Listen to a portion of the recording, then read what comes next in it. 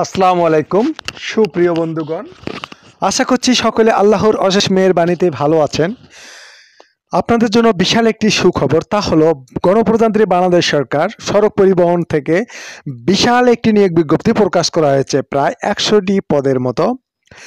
একশোটি পদ আছে এখানে, আপনারা অষ্টম শ্রেণি পাস করলে এই পোস্টগুলোতে আবেদন করতে পারছেন। আপনাদের জন্য সুবর্ণ একটি সুযোগ, সুপ্রিয় দর্শক শ্রোতা, আপনাদের কাছে অনুরোধ একটি আগে থেকে যদি এই চ্যানেলটি সাবস্ক্রাইব করে রাখেন, আপনাদেরকে জানাই অসংখ্য ধন্যবাদ। যারা এখনও চ্যানেলটি সাবস্ক্রাইব করেননি, অবশ্যই নিচে থেকে চ্যানেলটি সাবস্ক্রাইব করে পাশে থাকা বেল বাটনটি অল করে দিবেন। পরবর্তী নতুন কোনো ভিডিও আপলোড করে নোটিফিকেশন আপনাদের কাছে যাতে পৌঁছে যায়। তা সুপ্রিয় দর্শক এছাড়াও ডিসক্রিপশন বক্সে কিছু গুরুত্বপূর্ণ নতুন নতুন নিয়োগ বিজ্ঞপ্তি লিঙ্ক দেওয়া আছে। আপনারা চাইলে সেখান থেকে দেখে আবেদন করতে পারেন। তা দর্শক, এটি অনলাইনের মাধ্যমে না, এটি সম্পূর্ণ ডাকযোগে আবেদন করতে হবে। এখানে আবেদন শুরু এবং শেষ তারিখ আপনার ছবি এবং কী কী কাগজপাতি লাগবে সব কিছু এবং বিস্তারিত নিয়ে আলোচনা করব। তো দর্শক, আর দেরি নয়, শুরু করা যাক।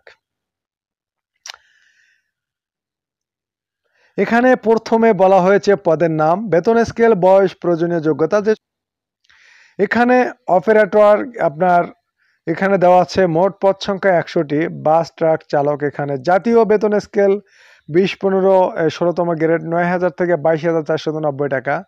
এখানে বয়স হতে হবে আঠারো থেকে তিরিশ বছর, আঠাশ আট বিশ বাইশ অনুযায়ী। এখানে ন্যূনতম অষ্টম শ্রেণি পাশ করলে এই পোস্টটিতে আবেদন করতে পাচ্ছেন। আবেদনপত্র প্রার্থীর নাম, পিতা, মাতার নাম, স্বামী, বর্তমান ঠিকানা, মোবাইল নম্বর সহ জন্ম তারিখ নিজ জেলা এবং শিক্ষাগত যোগ্যতা, জাতীয় পরিচয়পত্র অথবা জন্ম নিবন্ধন সনদের নম্বর, অভিজ্ঞতা, উল্লেখ এবং তারিখ নিম্নলিখিত কাগজপত্র আদি সংযুক্ত করতে হবে। প্রথমে ক নম্বরে সদ্য তোলা তিন কপি পাসপোর্ট সাইজের সত্যায়িত ছবি লাগবে। খ নম্বরে জাতীয় পরিচয়পত্র, জন্ম নিবন্ধনের সত্যায়িত ফটোকপি লাগবে।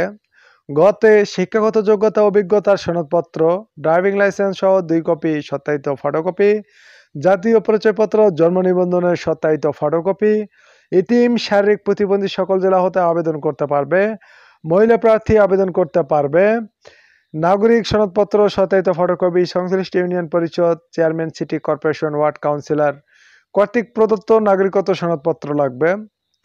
চেয়ারম্যান বিআরটিসি বিআরটিসি ভবন একুশ, এখানে রাজুক অ্যাভিনিউ ঢাকা এক হাজার এর বরাবরে যে কোনো বাণিজ্যিক ব্যাংক হতে দুইশত টাকার ব্যাংক ড্রাফট, পে অর্ডার অফরতযোগ্য সংযুক্ত করতে হবে। নির্ধারিত তারিখের পর কোনো আবেদনপত্র গ্রহণ করা হবে না। এখানে সকল এখানে সকল চাহিত সনদপত্র, ফটোকপি প্রথম শ্রেণি গেজেটেড কর্মকর্তা দ্বারা সত্যায়িত করে নিতে হবে। চিরন্তভাবে নিয়োগ প্রাপ্তদের জামানত বাবদ দশ হাজার টাকা বিআরটিসি হিসেবে বিভাগ জমা প্রদান করতে হবে। এক কথায় দশ হাজার টাকা জামানত দিতে হবে। আবেদনপত্র আগামী আঠাশ, আট, বিশ, বাইশ তারিখের মধ্যে অফিস চলাকালীন সময়ে নিম্ন স্বাক্ষরকারী দপ্তরে সরাসরি কুরিয়ার সার্ভিস ডাকযোগে পৌঁছাতে হবে। খামের ওপর অবশ্যই পদের নাম উল্লেখ করতে হবে। আবেদন, ভুল, তথ্য থাকলে আপনার বাতিল বলে গণ্য করা হবে। তা দর্শক, এই ছিল বিস্তারিত আলোচনা। ভিডিওটি ভালো লাগলে বন্ধুদের মাঝে শেয়ার করতে পারেন। আবারও দেখা হচ্ছে খুব শীঘ্রই নতুন কোনো জব সার্কুলে নেই ততক্ষণে আল্লাহ পাক আপনাদেরকে যেন সুস্থ রাখেন, ভালো রাখেন। আজ এ পর্যন্তই। আল্লাহ হাফেজ।